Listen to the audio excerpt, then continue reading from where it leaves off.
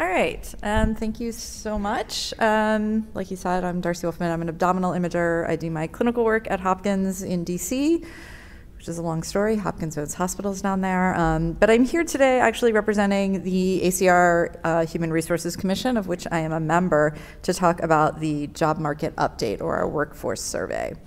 So lot, most of the information I have in here is from our workforce survey that we do every year, and the information I'm sharing with you is from our most recent 2019 survey.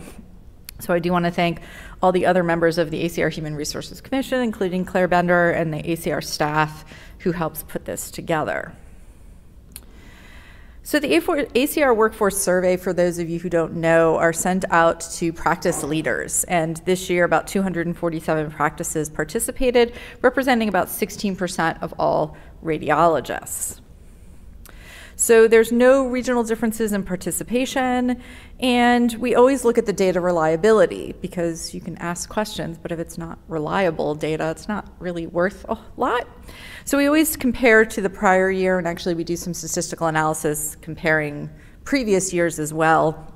In 2018 to 2019, there was no difference in the sample construction, response, no response, and deviation between expected and actual, which basically means that the results are reliable and predictable, which means we can use them to predict patterns in the future.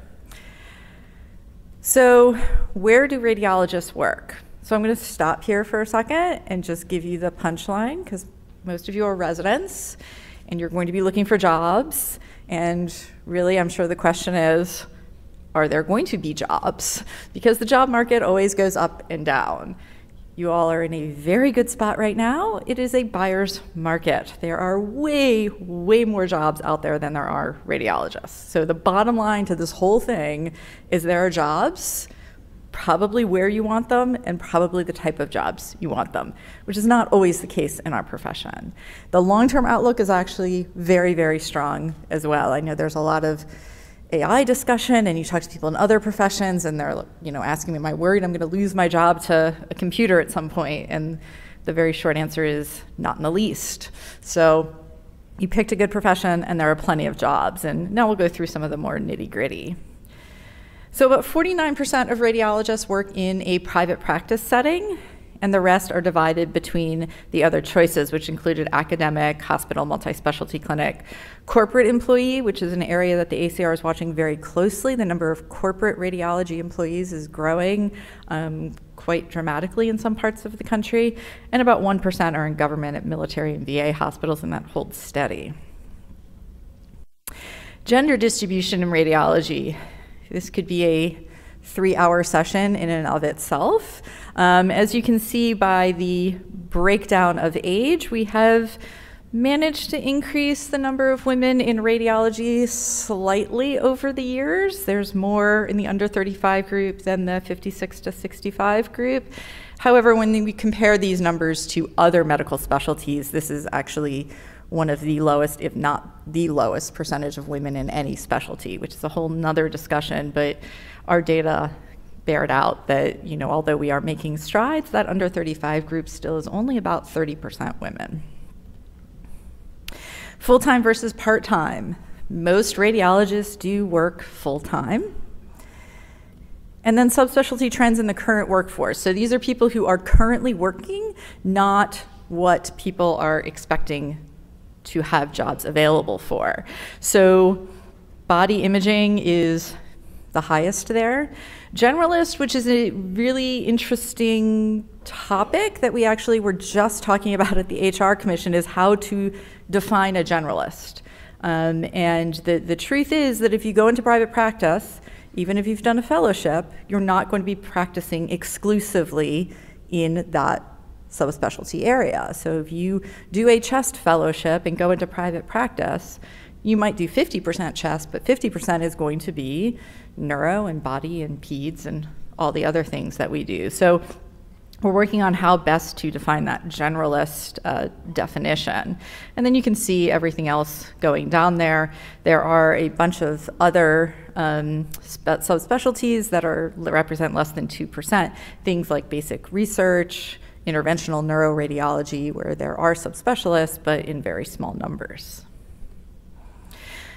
So what about newly hired radiologists in 2018? So, you know, we asked who did you hire, and then we asked some questions about that. So for 2018, about 40% of newly hired radiologists had moved from another job, meaning they were not directly out of training, which meant 60% were first time hires after training. So that's who you guys will be. So those numbers are really strongly in your favor. These numbers do fluctuate over time. As the job market gets tighter, groups want to hire somebody with experience over somebody who's just out of fellowship. But when the job market is wide open, as you can see, 60% were first time hires. So again, you're in a very strong position. This I bring up for you guys to plan. So both for moved from another job, so experienced radiologists, as well as first-time hires after training, less than 7% in both categories had no fellowship training. So a very small percentage. So it would behoove you to do a fellowship. If you were considering not doing a fellowship, I would strongly consider doing a fellowship at this point. That not having a fellowship, unless you're planning on going to a very underserved area, is probably not going to be a great thing. So now let's move into some of the hiring expectations in 2019 by subspecialty. So breast imaging, there are a lot of jobs for breast imaging neuroradiology, and you guys can read down here. Now, I put this up here just to kind of show you that there, there are jobs available in everything, and these are the questions we asked are, are you planning on hiring? And if so, are you hiring in, you know, what are you targeting? Who are you trying to recruit? I put this up here, but I would urge you to not pick a fellowship based on this data. Okay? There are a lot of breast imaging jobs. But if you decide to do a breast imaging fellowship, because there's a lot of jobs in breast imaging, please keep in mind you are going to be doing breast imaging for at least the next 30 years. And not only that, you're going to be the go to person in your group when you start, because you just finished your fellowship training. So please pick something that you like.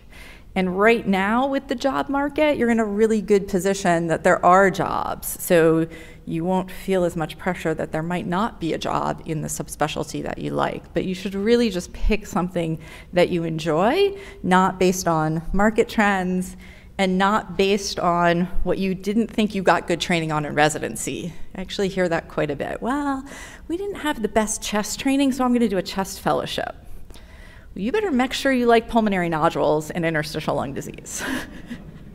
Because someone like me is going to be calling you if you join my group saying, what should I say about this? Because I can't remember that stuff for more than 10 minutes. So, you know, keep in mind that even if you go into private practice, once you've done that fellowship and you might be reading other stuff, you're going to be the go to person in that group because you've had that extra training. And when you come out of fellowship training, you're, you've learned everything the most recent, right? You're the most up to date person in the group. We'll move on to percentage hiring trends by region. So the South has the most plans to hire. So the dark bar is hired in 2018, and the lighter bar is plans to hire in 2019. So that's actually what they did hire and then what they're planning to hire. And this follows the job market. The West and New England tend to have the least number of jobs. Most people live there. A lot of people want to live there. The South, more jobs are available. Again, this is really only important if you're truly flexible in where you can go and where you want to go. You know, the South is definitely going to have more jobs. If you hate the heat and the humidity, I strongly suggest you do not move to Louisiana because I lived there for four years and it's really hot and humid. You won't like it. So you've got to make sure that you're happy with your geographic choice as well. So hiring expectations by practice type.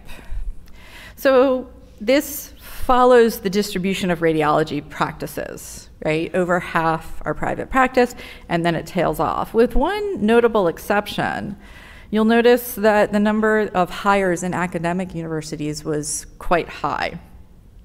And there's a big need in academic uh, universities for radiologists. And this is a, a, trend that we have seen before in radiology. And generally speaking, when the jobs outnumber the number of radiologists, academics ends up having a spike in need. And that's because when the job market's really tight, people who may like academics, may not, start working in academic centers because the job market's tight. And then as it loosens up and there's a private practice job they might enjoy more, they move out into those jobs. So this is something that we see happening. The other kind of interesting thing on this is the plan to hire and this corporate employee. And we're going to talk about this in a second with the changes in radiology. But this idea of being a corporate employee or a corporation owning radiology practice, radiology centers, and hiring a radiologist so that you're a corporate employee is increasing all over the country. And that group in particular is really making a push to expand and hire a lot of radiologists. So, what changes are we seeing in radiology? So, 41% of practices reported discussing or having a practice model change in the past three years. That's a really big number when you look at it. I actually had to confirm that with our statistician because I thought that's that's a lot of practices that have either changed their practice model or have been seriously discussing it. And this are things like merging with another group, joining an alliance, such as RAD Partners, very large alliance you might have heard of, selling their private practice groups to corporations, or becoming a health system employee, where I practice in Washington, D.C. Most of the radiology groups are now multi specialty clinic type groups and health system employee type groups rather than private practice. And this really reflects a larger change in medicine that these multi health systems are taking over areas and incorporating multi specialties within them. So, this is kind of a microcosm in radiology, is reflecting what's going on in the larger world of medicine. This occurred in 51% of Midwest practices, but only 25% of Mid Atlantic practices my personal bias here and what we talked about in the HR Commission and kind of looking and analyzing this data is that some of this may actually reflect changes that have already taken place in the Mid Atlantic. Um, again, as someone who lives in DC, these changes have kind of already taken place. There isn't much room for practice models to change more because they changed about five to seven years ago. The bottom line here, though, is that things are changing but things are always changing. Over the course of your radiology career, things are going to go up and down. And I remember being told that as a resident. When I was when I was a resident, the job market was like it is now. By the time I finished my fellowship, the jobs had started diminishing. By the time I was in practice about 4 years, when you looked at the ads, I believe he showed there were like 247 ads on the RSNA website. You used to go on the RSNA website and there'd be like 10 you're like, oh God, like, where am I gonna work? And that's gonna happen. You know, it happens in every profession. There's gonna be peaks and valleys. So the most important thing is to just remember that change is inevitable. So again, the job market is strong.